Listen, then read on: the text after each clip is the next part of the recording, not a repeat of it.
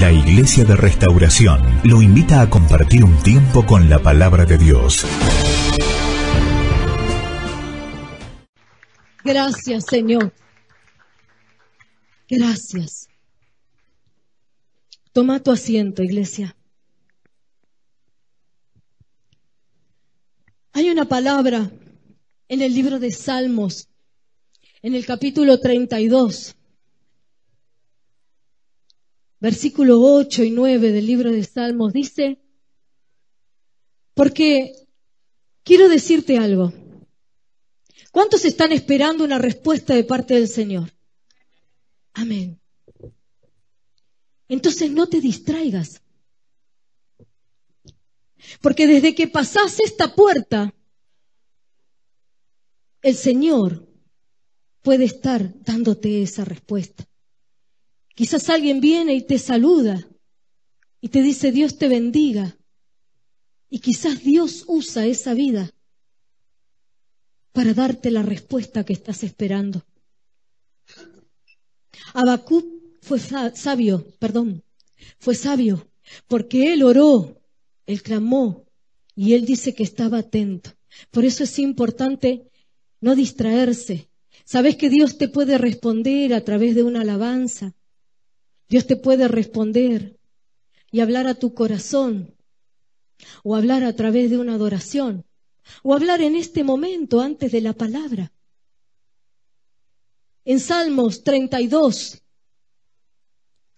dice su palabra, te haré entender y te enseñaré el camino por donde debes andar.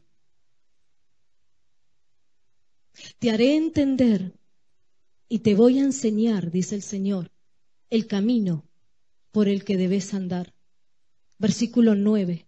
No seas como el caballo o el mulo, sin entendimiento. Porque la palabra de Dios antes de eso dice, sobre ti fijaré mis ojos. A ver, vos sabés que el Señor tiene sus ojos puestos en tu vida? Y si no lo sabes, te estás enterando ahora, porque esta palabra lo dice. Y esta palabra es fiel y verdadera. Sobre ti fijaré mis ojos. Te voy a hacer entender, te dice el Señor. Te voy a mostrar el camino por el que debes andar. Y voy a fijar mis ojos sobre vos. No seas como el caballo o como el mulo, sin entendimiento, que tienen que ser sujetados con cabestro o con freno, porque si no, dice el Señor, no se acercan a mí. ¿Cuál es el camino ese que Dios quiere hacernos entender y que nos quiere enseñar a andar? Es el camino de la fe, de la adoración, de la santidad. Hay un camino que te lleva a la bendición. Y el Señor te dice, yo te voy a hacer entender y te voy a enseñar. Sobre mí voy a fijar tus ojos. ¿Para qué? No te desvíes. Pero no seas como el caballo, como el mulo.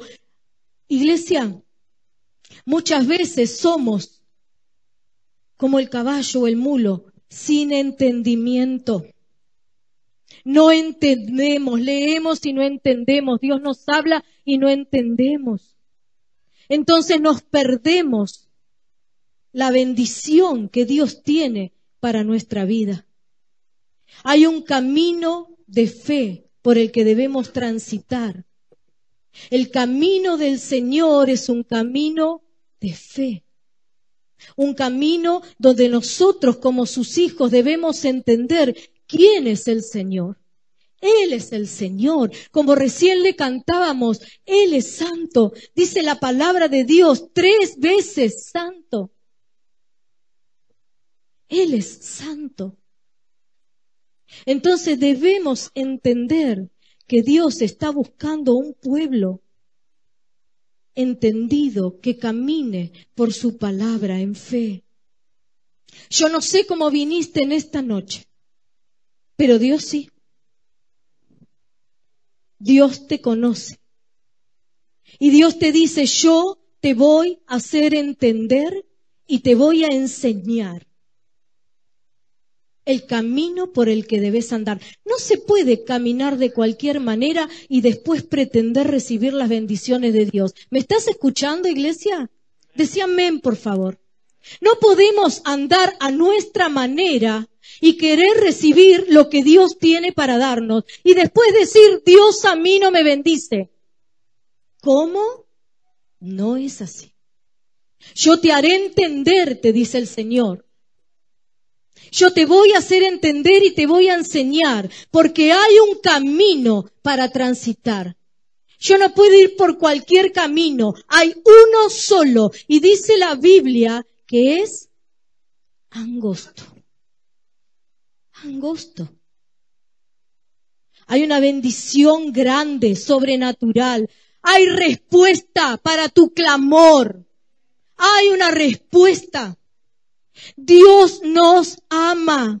Dice su palabra, Él nos ama.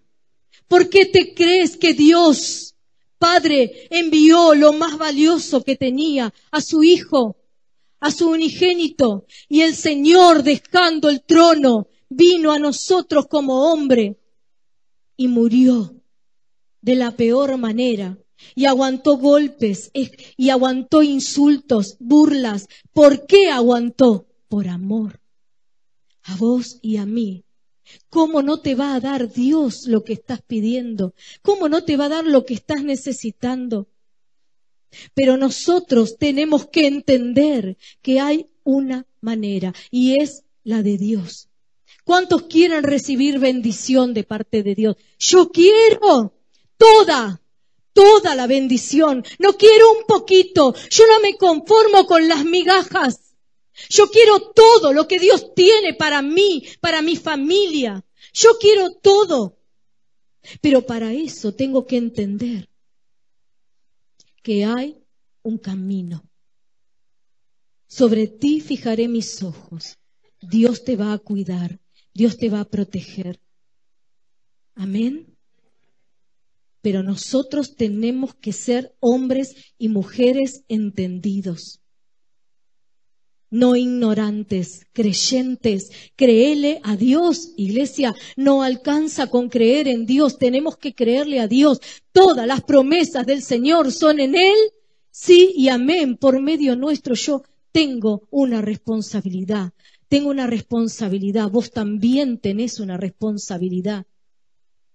Entonces, nosotros tenemos que entender que hay un camino y es el camino de la fe, un camino de santidad.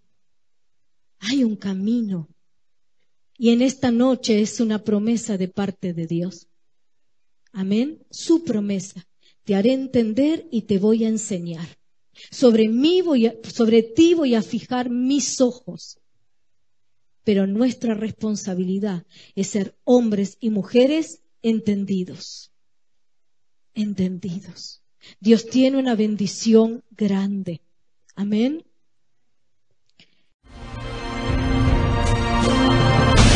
Iglesia de Restauración, Avenida San Martín 2324, Florencio Varela. Los esperamos los miércoles a las 20 horas, sábados 19.30 y los domingos, reunión de jóvenes a las 18 horas. Venía a encontrarte con tus sueños.